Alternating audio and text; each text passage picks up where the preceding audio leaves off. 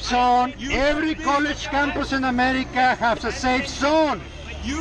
I'm asking you not to be rude to the preacher. You're not looking anybody I'm in asking you eyes. not to be rude to the You're preacher. I am going to continue with the class. Nothing. But you have to respect the safe zone. All right?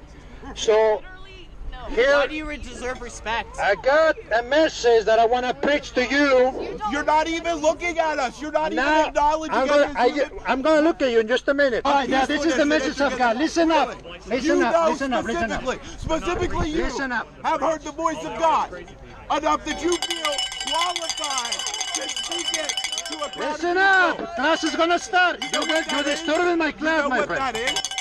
Is? You're That is disturbing my class. You're That is disturbing my class, okay? You literally, yes, I'm distracting you. You're gonna get a bad grade from this class. In your You're gonna get a bad grade I from this class.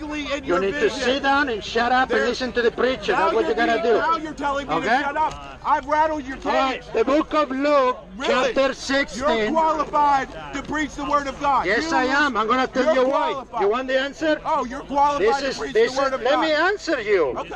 This is the answer. The Bible says this. He makes us able ministers of the New Testament, not by the leather, because the leather it, but of the Spirit, because the Spirit bringeth life. I don't have a PhD. I don't have a college diploma. I have the Holy Spirit of God. And that's what qualifies me to preach the gospel. You in our safe zone, lady. You need to get out of the safe zone. Anyway, Luke 16, Book of Luke, chapter 16, verse 15 says this That which is highly esteemed above men is an abomination in the sight of God. We're going to talk about the wisdom of men versus God's wisdom. Because today in America, 2017, we have the wisdom of men that tells you one thing, but you got to look at the Bible, what the Bible tells you that you got to do with your life. Hey. Full of wickedness, Hey, and we need to stop abortion. Hey, We hey, need to stop stop. abortion. Hey, hey, hey, stop that shit. We Cut need that to. shit You out. have a nasty mouth. Hey, Go stop, wash your stop, mouth. Stop. Stop. Stop. Stop that shit. The wisdom of the word tells you that it's okay to be a filthy Hey, homosexual. But it's not okay. Hey. It's not okay to be a homo. There is a man that can set you free. Hey. Hey. Have you bled for God? I have. I'm gay. God, God doesn't love you will go to hell. Iniquity. God doesn't love you. God doesn't love iniquity. And you need to repent, lady. Hey. Stop being a lesbian. Stop being a lesbian. Okay, so we have point number five or six. How many people in here take the name of God in vain? I do. See, look at all these people taking the name of the Lord Jesus Christ in vain. Or you watch Hollywood movies and they take the name, they use the name of Christ in vain, and there's no problem with you I have a question. because you hate God. But the third commandment of God says, "Do not take my name in vain. Do not take the name of the God of the Bible in vain." Again, the wisdom of the word tells you, don't ever hate, don't hate anybody. But this is what the Bible says. Ecclesiastes 3, 3, 3 1 says, there is a time for love, and there's a time for hate. God is angry with the wicked every day. Delay in your ear. How many of you have you these big that holes I in your acknowledge ears? as holy. Is anybody here with big holes in I your do not acknowledge you as holy. The Bible because says, you are do not preaching cut your flesh. reverse Do not make any cuttings in your You flesh. are That's what the Bible says. Do not make any cuttings on your flesh. Right now, we're going to give you another class on the First Amendment. Yes? Yes, sir.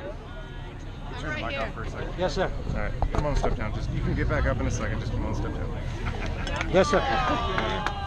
I'm going to continue preaching. You can talk to them. I'm not going to use the no, I gotta talk to you because you're the one that's Go ahead. causing all of it. All right, so T- come on. Talk to me. I have nothing to hide. Just come on down. Come on all the way down. I'm not a threat to you, officer. I know you're not. Just come on all the way down. Thank you. All right. What's up? Right. I wish I could have the cowbell, but that's all right. Okay.